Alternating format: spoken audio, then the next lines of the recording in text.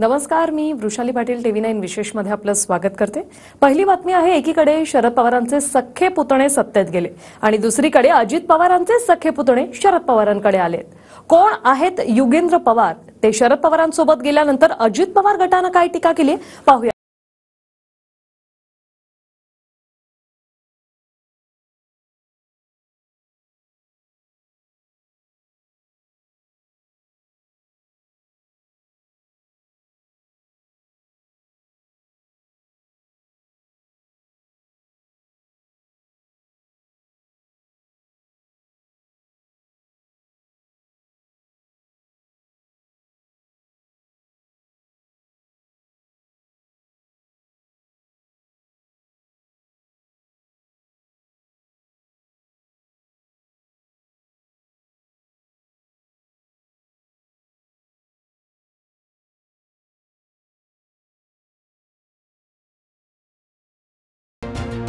चांगली गोष्ट आहे. शेवटी बघा ते साहेब आहे. मी त्यांना खूप खूप रिस्पेक्ट करतो. आता तुम्ही सगळे पण मला खूप पूर्वीपासून ओळखता.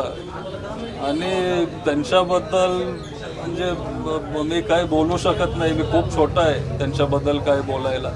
आणि साहेबांसाठी म्हणजे ते म्हणतील तसं. योगेंद्र पवारांचं नाव महाराष्ट्राने आज पहिल्यांदा ऐकलं. ते कोणाचे पुत्र आहेत तेही महाराष्ट्राला आज पहिल्यांदा माहीत पडलं.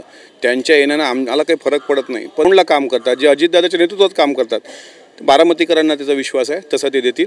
योगेंद्र पवार असो की आणखी कोणी योगेंद्र पवार आले तरी त्याचा काळी मात्र फरक कुठल्याही लोकसभेवर पडणार नाही. महाराष्ट्राच्या जनतेने गद्दारांना धडा शिकवण्याचं ठरवलेलं आहे. लोक का जातात लोक का येतात ते आता गावच्या चावडीवर बसलेल्या लोकांनाही कळतं आहे आणि अमोल मिटकरींचं मी काय नाव घेत नाही त्या अमोलचं तर आमदार झाल्यानंतर विधान परिषदेमध्ये थेट आलेल्या पन्नास हजार पगार घेणाऱ्या माणसाने कृपया राजकारणाबद्दल जास्त बोलू नये. आपल्या म्हणजे तुम्ही जर एवढं चांगलं बोलत असतात आणि तर तुमची प्रवक्ता ह्या पदावरनं हकालपट्टी झाली नसती. बारामतीच्या सभेत माझ्या घरचेही विरोधात जातील म्हणून अजित पवार भाऊक झाले होते. मात्र घरचे होते तिथेच आहेत. विरोधात तुम्ही गेलात. असं म्हणून शरद पवार गटानं उत्तर दिलंय. दरम्यान सध्या राजकारणात एक पुतणे काकांविरोधात बंड पुकारतात. आणि त्यानंतर त्याच पुतण्यांचे पुतणे आजोबांना साथ देतात याची चर्चा सुरू आहे. मला एवढंच सांगायचं आहे. बाकीचे सगळे घरातले माझ्या विरोधात गेले तरी हे सगळे माझ्या बरोबर प्रत्येकाला व्यक्ती स्वातंत्र्य आहे प्रचार करायचं स्वातंत्र्य आहे.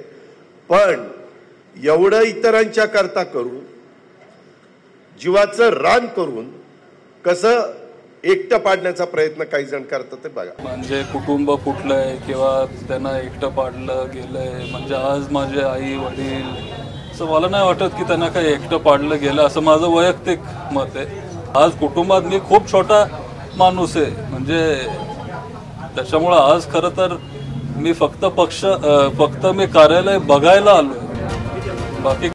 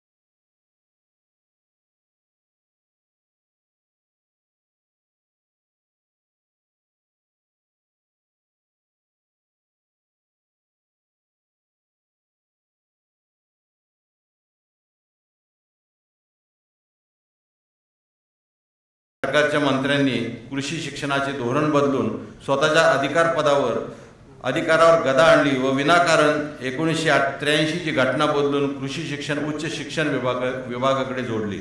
हे वास्तव उपमुख्यमंत्री अजितदादा पवार व कृषी मंत्री यांना अवगत केल्यानंतर याबाबत पाच बैठका झाल्या.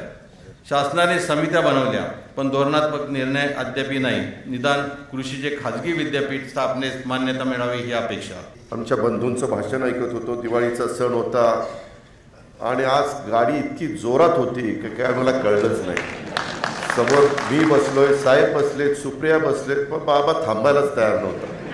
तर म्हटलं बाबा आपल्याकडनं कामं कुणाकडनं करून घ्यायची असेल तर पार त्याचा उभा आडवं करून त्याच्याकडनं कसं काम होणार?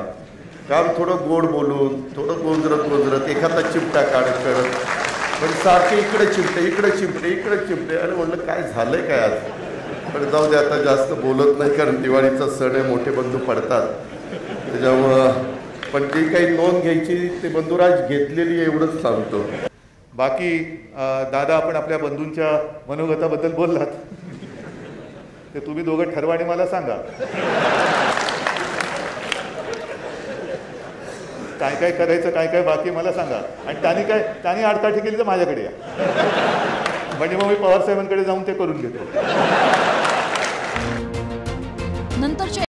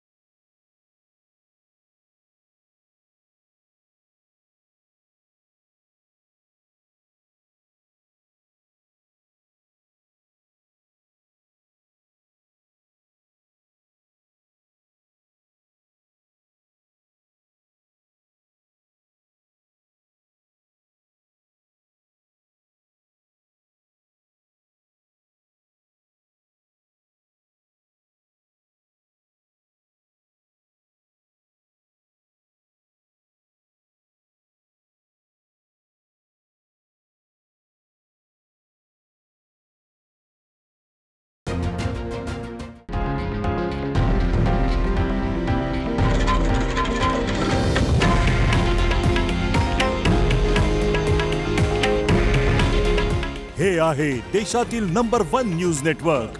आणि आपण पाहत आहात टीव्ही नाईन मराठी. काळजी तुमची हित महाराष्ट्राचं.